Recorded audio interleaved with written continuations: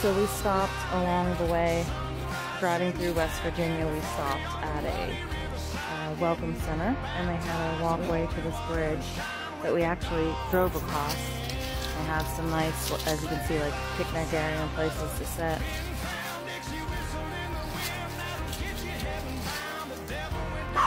The walking trail wasn't too terribly hard, but I definitely wouldn't take it if I was with someone that was disabled or someone that couldn't walk up and down a lot of steps because near the end there is a lot of steps. I don't even think I recorded it all the way. But the first half of the walk was okay and it takes you to a pretty sight too. And no one was really on it except for two other people and they didn't go down all the steps so it's a quiet, non-busy trail when we went down on it. Of course, we went in the afternoon. Around the park's closing time is probably around the time we went. But as you can see, there's a the bridge, and they have little information about the bridge right there, and a a view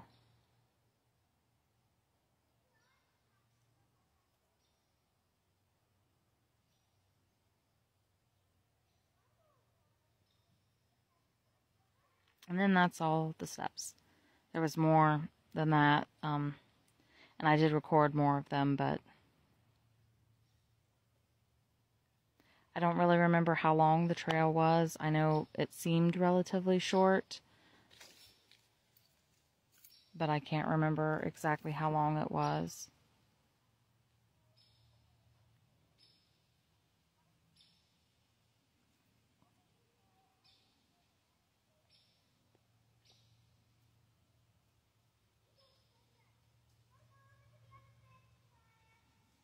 It's a pretty, pretty view. As you can see, there's more steps.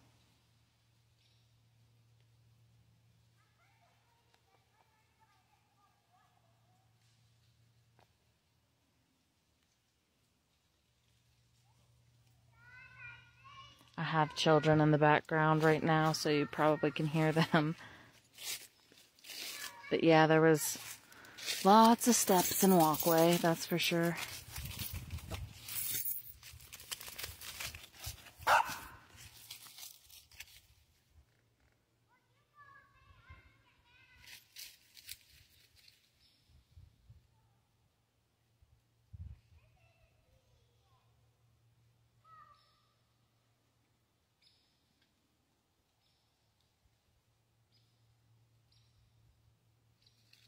And rounding the curve, there was more steps.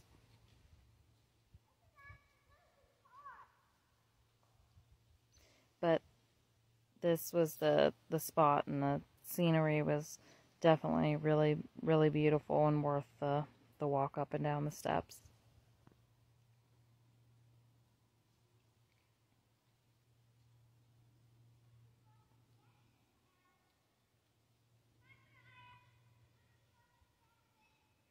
And you're welcome to pause the video and read the information I put.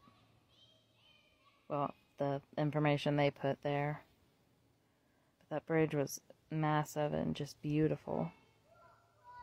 And I'm sure there's other trails that walk you closer to it, but um, we were actually pressed for time, and so we weren't really expecting to stop where we stopped, but we did. And um, it was evening, so we wanted to kind of rush so we could get back on track before nightfall. But here's pictures of some of the walkway and the beautiful scenery. There's a bridge.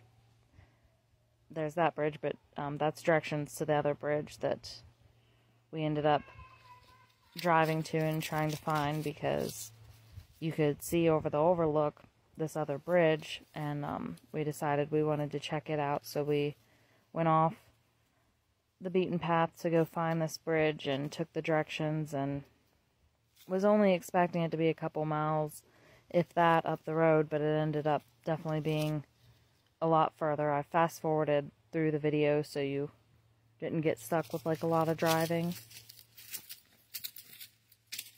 But it definitely was very downhill for sure. And this is getting to the bridge finally.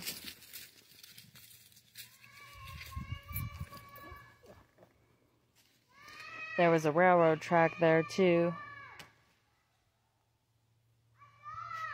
And then the bridge was right there and I guess you could walk alongside the bridge because there's a little walkway. But, um,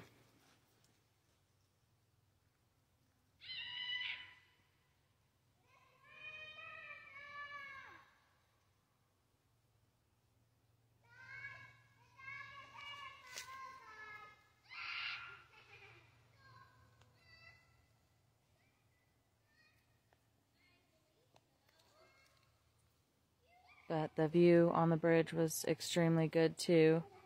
Like I said, we were kind of rushing through it because we were trying to get through to see it by dark as it was nearing like seven o'clock. So, and it didn't want to get stuck back in the woods somewhere for sure without knowing where we were. So, we just went off the beaten path a tiny bit, but it wasn't too off the beaten path, but it definitely was more than we were expecting. There's lots of campgrounds in that area and interesting places to to be for